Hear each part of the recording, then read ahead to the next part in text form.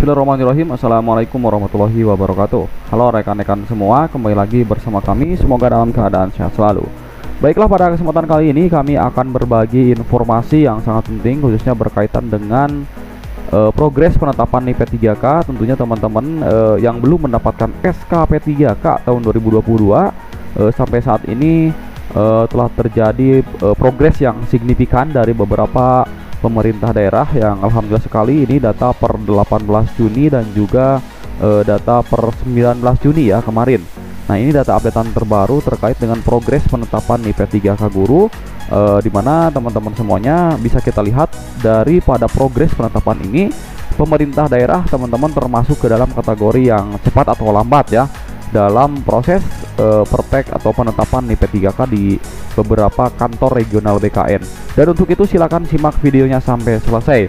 Dan seperti biasa bagi rekan-rekan yang baru bergabung pertama kali menemukan channel ini untuk menekan tombol subscribe-nya dan aktifkan lonceng notifikasinya agar teman-teman mendapatkan informasi-informasi terbaru seputar progres penetapan P3K dan juga P3K 2023. Nah, Informasi yang pertama ini didapatkan dari uh, kantor regional 1 BKN. Ya, teman-teman alhamdulillah sekali di daerah uh, Provinsi Jawa Tengah ya. Kalau kita lihat di sini teman-teman semuanya uh, dimulai dari pemerintah Provinsi Daerah Istimewa Yogyakarta yang alhamdulillah dari total 531 ini sudah di ACC. Selanjutnya Kabupaten Bantul 387 sudah di ACC hampir 100%. Kabupaten Gunung Kidul sudah 100%. Kabupaten Kulon Progo masih dalam tahap proses di mana ada 133 dan 67 yang di ACC. Nah, untuk lebih jelasnya teman-teman silakan uh, untuk melihat uh, nama daerah teman-teman. Silakan teman-teman simak.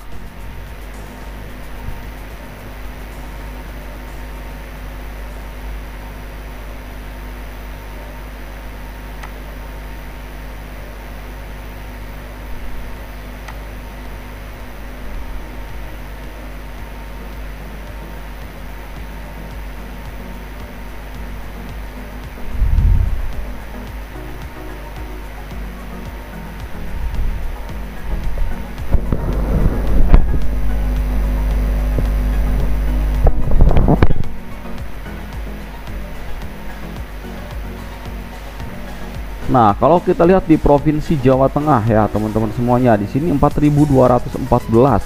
4214 sudah di ACC. Artinya per, e, di Provinsi Jawa Tengah juga ini sudah hampir 90%.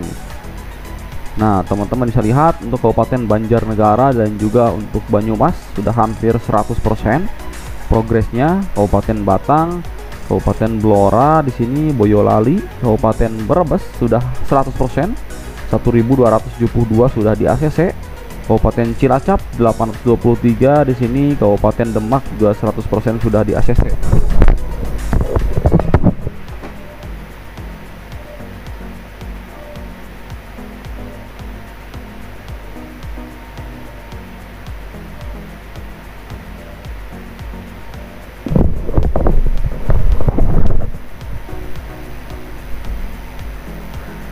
Selanjutnya Kabupaten Kudus eh, 407 sudah di ACC, Kabupaten Magelang sudah 100%, ada satu orang yang PMS.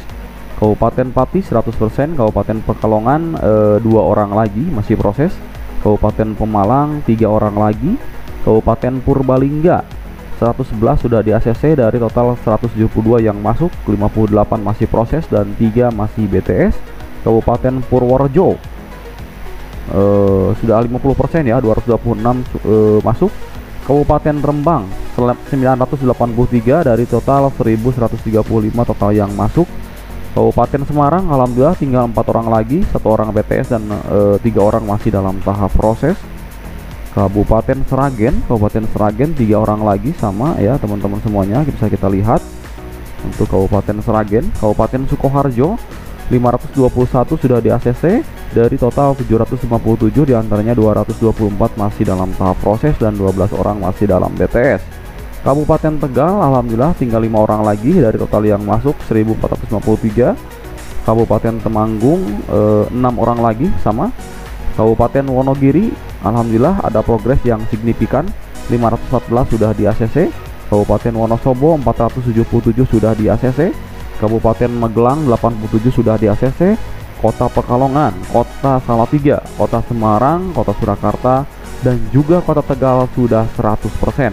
Nah, mudah-mudahan pemerintah daerah yang sudah 100% e, di ACC nih P3K-nya tidak lama lagi sekali lagi ya akan e, membagikan SKP 3K kepada teman-teman guru honorer yang sampai saat ini ya sedang menunggu e, terkait dengan pembagian SKP 3K yang didambakan seperti itu. Nah, selanjutnya ini dari BKN Aceh ya, teman-teman, Banda Aceh. Untuk daerah Banda Aceh sendiri uh, alhamdulillah sudah ada progres yang signifikan ini khusus untuk P3K teknis ini untuk teknis belum ada yang masuk ada satu yang masuk untuk P3K guru alhamdulillah sekali di sini teman-teman semuanya dari daerah Aceh ya pemerintah Aceh uh, 2815 semuanya masih dalam tahap input usulan masuk belum ada yang di ACC dan juga yang diproses. Nah untuk Kabupaten Aceh Barat Daya semuanya ini hampir 100% di ACC teman-teman bisa silakan lihat ya untuk daerah yang ada di uh, Aceh. Aceh Barat, Aceh Barat Daya, Aceh Jaya, Kabupaten Aceh Selatan, Aceh Singkil, Aceh Tamiang, Aceh Tengah, Aceh Tenggara, Aceh Timur, uh, Aceh Utara, Kabupaten Bener Meriah di sini 566 uh, 564 masih uh, dalam tahap usul masuk belum ada yang diproses Kabupaten Biren, Kabupaten Gayolas, Kabupaten Nagan Raya, Kabupaten Pidie, Kabupaten Simule, Kota Banda Aceh masih dalam tahap proses. Kota Langsa 88 sudah di ACC tinggal dua orang lagi yang masih dalam BTS. Alhamdulillah ya Kota Langsa.